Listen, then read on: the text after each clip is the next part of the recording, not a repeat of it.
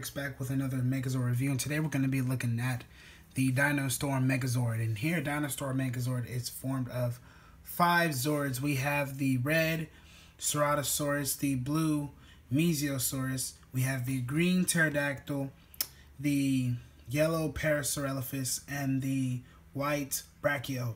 So these are the five Zords. There are also two other Zords that are made, and they're its own Megazord. It's the orange T-Rex and the I would say maybe light blue. I call it silver, but the silver stego. But those that's another Zord, and that's for another review. So check that out after this one. But anyway, besides that, here's the Zord, and right here is a really really nice set. We get five great looking Zords, and I gotta say, this is probably my best Dino Zord ever. And for those who, who's been following for a while, you guys know that my Dino Megazord is pretty cool and this one is a little different. So let's just get into the review and move these guys to the side really quickly. Just for a sec, let's move these guys. And we're to take a look at Reds, which is the Ceratosaurus. And it's it's it's a pretty big dino. I gotta say, it's really nice. Um, he came out looking like the Mighty Morphin Power Rangers dinosaur, but of course he's a mixture of a few things. That, and he's also a mixture of the Q Rex and the Dino Thunder Red Rangers T-Rex Zord. But um here he is. He he just looks freaking awesome. He got he has these pulsable cannons here on Ratchet. They can move in different directions and stuff. His arms are posable and whatnot, and his claws, even his mouth, it's all the way up. It can open up all the way. This is an attack that's actually like supposed to be like guns, missiles or something. Um, use your imagination, kids. His legs are all on these really good joints. He has a good neck system there. His tail is very articulated because it's on ratchet. It can rotate there. All right, here's another point of articulation. And it can also bend there. And if I could get it, but all these points of articulation are all on ratchet. And it's just satisfying to do it every time. But Besides that, we also have the, uh, if I can get it to spin correctly, uh, I don't know, it kind of rotates, but it's the drill tail. You guys get the picture. Um, he can sort of do a little funny attack. It just, it's gonna look funny, but it's just, you know, zzz, drill. Okay, but um, here he is, guys. The red Ceratosaurus in his cool epicness, his dynamic pose. Um, I don't know if that looks cool or not. But um here he is, guys. Yeah. This is red. And we're just gonna move on to blue. And for blue is the Mesiosaurus. And Mesiosaurus, or Mesiosaur, however you say it, is what blue is. It's that big thing that was on Jurassic World. But, you know, this is the downscaled version for the Megazord. So, um, yeah, here's blues pretty neat. You got a lot of articulation here. You got the mouth, it fully opens up and it can slam shut. You got articulation in the flippers there. And back here, his tail does, it's not really supposed to move, but it can move. But here, here's a cool gimmick. They all have gimmicks, guys. Yay. You've seen Reds, he has the drill tail, the claws, the cannons. Now Blues, you're going to wonder what it is. What his is, his gun, point forward, which is his tail. And it's now like a gun. It reveals the fist, which is right there. Yes, it's an arm. Let's just knock that out the way. This and the Parasaurolophus is the arm. But, um, yeah, that's a gun gimmick that he can do. So he can just fly towards you and just chomp and he just... I was actually going to draw a box, but gosh, I can't do that anymore. It takes so much time. I draw manga for a living. Can't do that. So, anyway, here is yellow since it's the same thing. I was going to go to green, but I ruined the order. But here's yellow. Really cool, though. I really do dig yellow's design. It's totally different. And, you know, when I built this, I kind of told myself, how can I separate this set amongst the rest? Because I built other dinosaur sets, and, you know, I just, I don't know. I felt like it needed a new formula of a five combiner, and people have been asking, so why not give it to them? So there we go. Here is the articulation there. You got it here. The head kind of bends, but that's really for transformation. Her tail kind of moves, but it's not supposed to because it's for transformation. But it does also have that attack thing with the guns that can point forward, which is cool. It reveals the fist, but who cares? All right, so here is green, and for green, super simple and sweet, we got this beautiful, beautiful bird.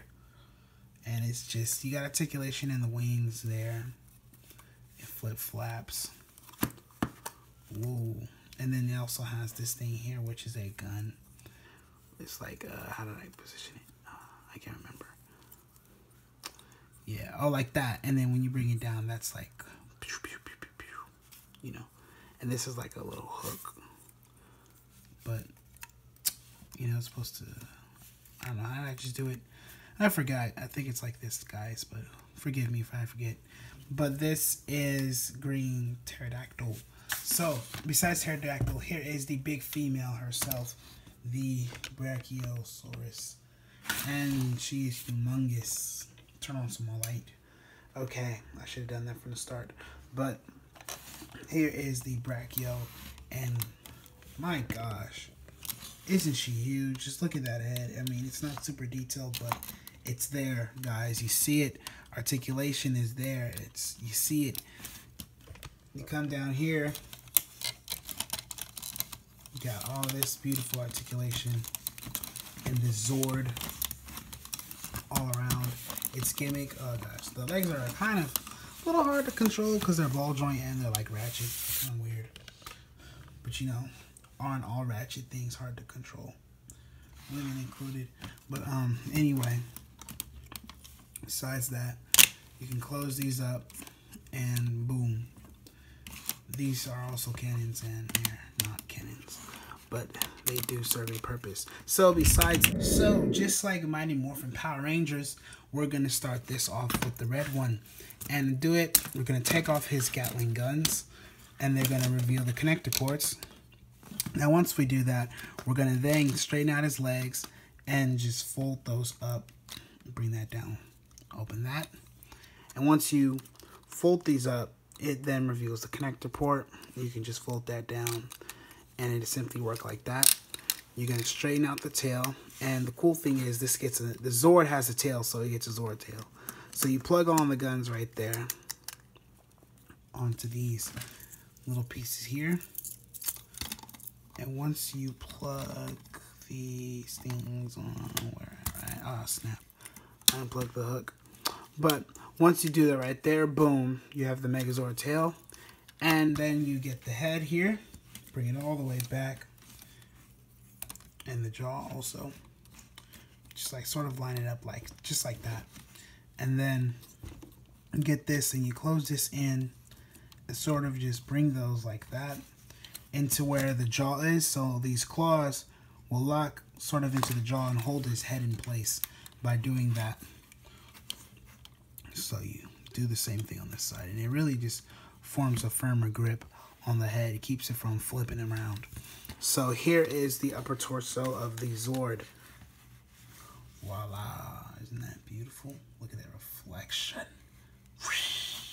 Anyway, besides my sound effects, let's go to the arms. And we're going to start off with blue.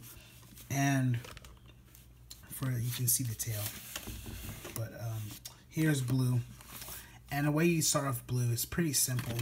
We're just going to come down here, open this up and flip it around. Plug that into place and then get this and rotate it all the way around like that. Make sure it's facing that way. And then you open up the jaw there and then you come to this whole tail piece.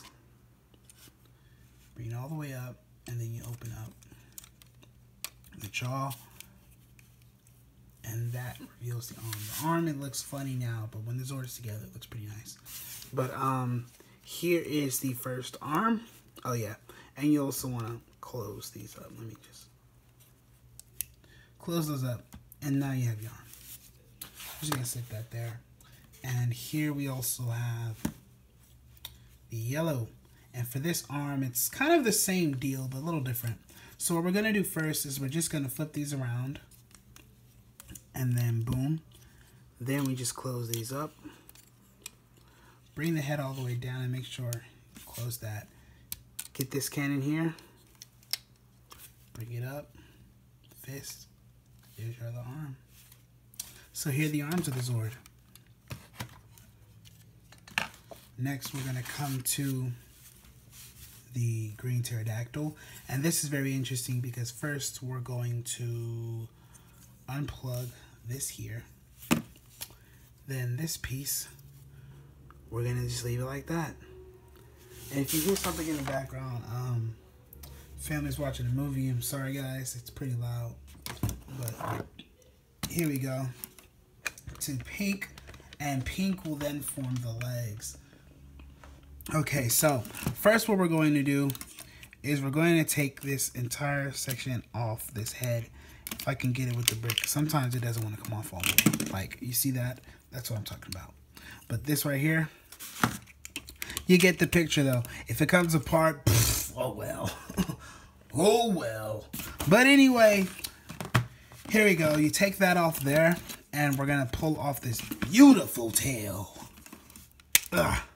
There you go. And we're going to leave those to the side. And this here becomes our nice legs. So what we're going to do first is we're just going to fold these up beautifully. I'm just kidding. We're just going to fold those up beautifully right there. And then we're going to fold these up. No, actually that is completely wrong. That was hideous. Okay, we're first going to fold up the thighs. And then when we fold up these thighs, they should be able to come around and tuck behind this black piece there like that, forming a sort of uniform look. Then you follow up with this side on the back end. Boom, and then you split, and then you open these up a little bit, just a little bit, a little bit, and there are your legs. Now, form gattai or Zords combined. Okay, so we're going to start off with the legs. Plugging that in. Boom. And now he's standing pretty tall. And excuse me while I make the camera Okay, tall. so here is the Zord upper body. Now next we're going to come to green. And he's going to swoop in. And this piece folds out and it just goes right where that is. Boom plug that in, put these to the side, lift your camera, show them what they're missing. And this is the upper chest plate of the Zord. Sort of like a wing plate. Yes. So there's that. Next, we're going to, let me just bring it here. Bring the camera in just a little more. Sorry if you see the outskirts of my review station. Oh well. So, um, yeah, just I gotta get the right angle. I'm sorry, guys. You guys are gonna see how I just do this edit raw. I'm not even gonna take this out. So, okay, now I just rattled my complete camera and gave you guys utter nonsense for I don't know how long. Let's just get on with the review. So, without me being a perfectionist, we're just going to throw blue right onto the side here. And then yellow comes in and goes right onto the side there. There are your arms, and you see blue is completely huge compared to yellow, but I don't care. I love it for what it is. This is how I build. Okay, so that piece that we left to the side that was on green, you just, I think it's already done. Oh, yeah, that's actually the Zord head. So we're just gonna bring it in. Bam. He looks up a little bit, but I don't care. It's still nice. Now we can give him a good weapon. He can have a spear or a sword. We're gonna give him the spear this time. I never give him the spear. So just plug it in. Boom. Then you get this beautiful, beautiful tail right here. This beautiful tail and you just plug it simply into the Zord's hand. Voila, now the Zord holds a shield and a spear, sword. I don't know why I'm doing that. The Zord almost completely destroyed itself. Wow. What a great way to ruin the review. Dang, Power Bricks, you you good at that for sure. You good at ruining reviews. Uh, okay, anyway. But besides that, here is the Dino Storm Megazord, fully merged up, guys. Um, what can I say? It came out pretty good. Uh, he's very heavy, I will say that. But trust me, this Zord is nothing compared to the next one. You guys have no clue for what you're about to see. It is beyond belief. Um, you guys are gonna probably figure out how the hell did he do that? And I'm pretty sure I, I thought that same thing. And I'm not sounding egotistic.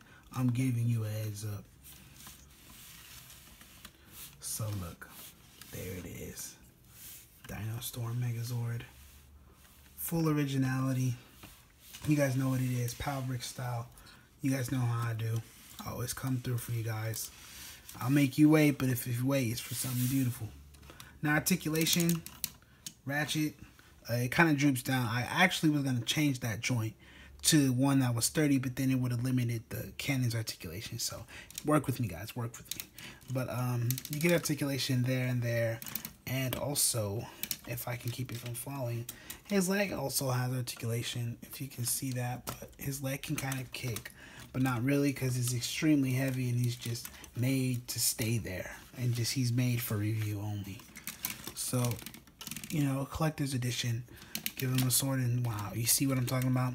Sword and spear, but you get the picture. This is Dino Storm Megazord, guys. Um, wow. 5 out of 10 for sturdiness, but uh, I guess I give him a 9 out of 10 for the look. Uh, movement in a better frame angle. This is Dino Storm Megazord, guys. Get a closer look at its face. Wow, this video came out terrible. But it's okay. I love it, and I love you guys. And this is Power Bricks signing off.